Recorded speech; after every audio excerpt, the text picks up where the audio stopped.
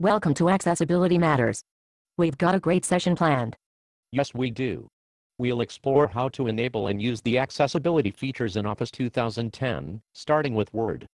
I'm Susie Standards, a graduate student dedicated to accessible online learning. And I'm Professor Compliance, Susie's advisor, and the Dean of Online Learning here at EdAccessU. Are you ready, sir? Looks like we have a lively class today. You betcha, Susie. We've got tons of information to share, and the clock is ticking. Take it away, Susie. Thank you. You can download a free trial of Office 2010 from the Microsoft website. Remember, as an educator, you are eligible for a hefty discount on a good bit of software. Check out one of the education pricing software resellers. Your campus bookstore may have discounts as well. We'll begin with Office 2010 installed and Word 2010 open. Cool. So Susie, we have opened the program, but not a document. Correct? Yes, sir. We have located Word 2010 in the Microsoft Office menu. Generally, we double-click to open the program.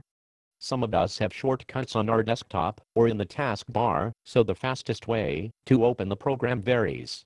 Right? Absolutely. Now that the program is open, we'll click File and locate a document that we would like to check for accessibility. This feature gives us a great way to easily create accessible content. It's like having an accessibility specialist sitting right beside you whenever you are working on course content. If we select a file that is in the doc format, we'll need to select File, select Save As, and then. Excuse me.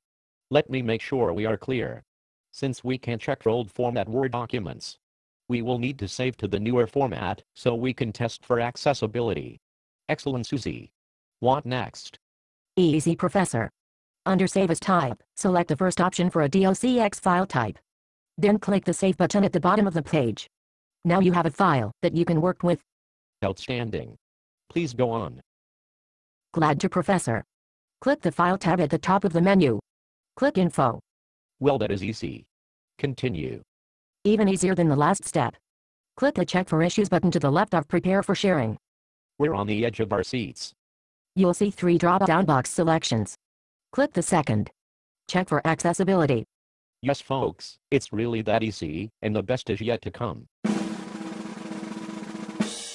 On the far right of the window the accessibility checker opens, and it is something great. The inspection results are revealed. Thrilling, Susie. Please tell us more. We can't wait to hear more.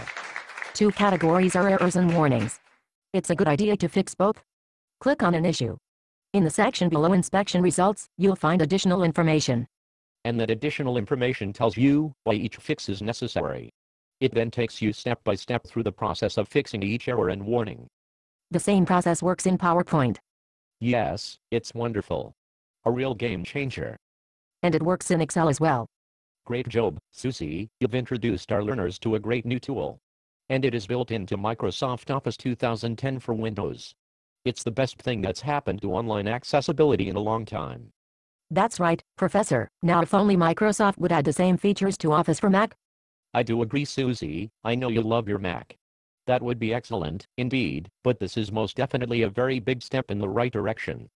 Thanks for joining us everyone, and remember, accessibility matters.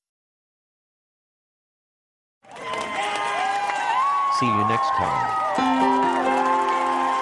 This project was created with xtranormal state and captioned in the YouTube interface. Free Tools Rock.